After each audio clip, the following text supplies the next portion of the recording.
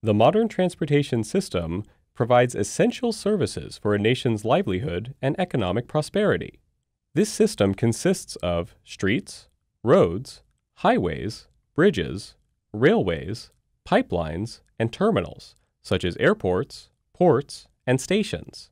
The relationship between the transportation system and the environment it transects is symbiotic. How can we make responsible decisions to reduce negative impacts from the transportation system on the environment?